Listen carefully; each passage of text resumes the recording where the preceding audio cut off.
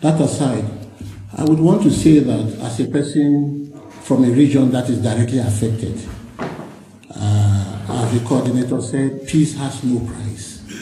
We are here to preach peace. We are carrying out a pedagogic exercise, teach people that we, we were taking peace for granted. Those of you who are in the south, that it can also get here. If your neighbor is suffering, then you have, as, as an African, to intervene. Because if you don't, the fire will, can, can also get to you. So that is the pedagogic, uh, pedagogic exercise or the, the educational exercise that is there. And this is, this is how I want to couch it, that uh, why are we out here? And why is there this crisis? It, can, it, it, it, it has uh, many dimensions. It has, as some people say, the spiritual dimension. It has the psychological dimension. It has the visible and the invisible dimension. Uh, it, it, it, has even the physical. It is not just uh, B versus Amba Boys, people who are fighting. Those are there. That is what we see. But there is a lot of spirituality going on. And, and as someone said, we have taken our time as traditional rulers to investigate, to make analysis, and we now know that we have to use appropriate tools to capture uh, the problem as it is. Um, we will not be able to tell you how uh, we are going to do that, but you know that uh, in our society, as the last speaker just said, we have rituals for everything uh, uh, uh, that can keep people together and that can break down crises. We do not have a magic one that will just will leave um, a bolova today and the crisis will just stop.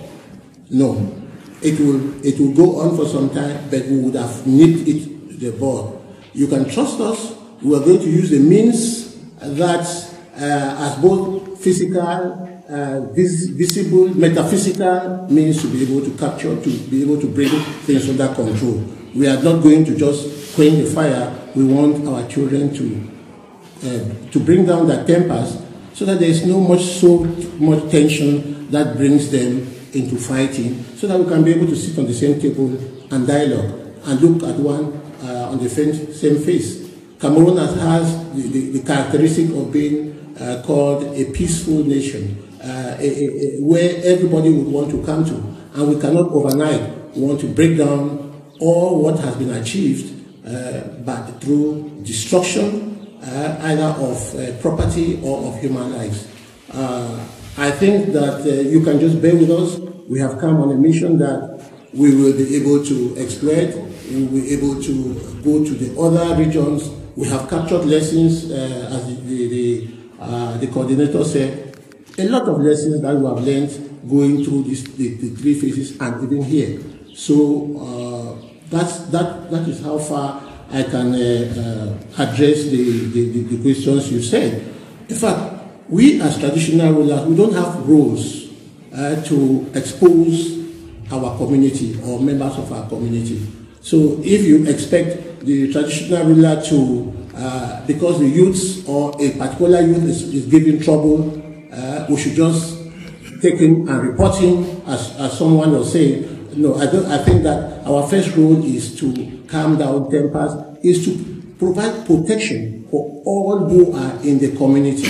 This is why we are intervening today. That look, we have children who have, who have differences, but we prefer that they should, uh, uh, they should speak amongst themselves. They should even quarrel, shout, but they should not fight to the extent where they should, they are killing others and spilling blood. Because blood spilled for a traditionalist that we are hurts. It would take a long process to purify it.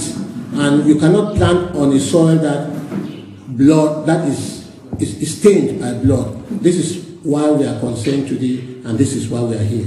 Thank you. Thank you, uh.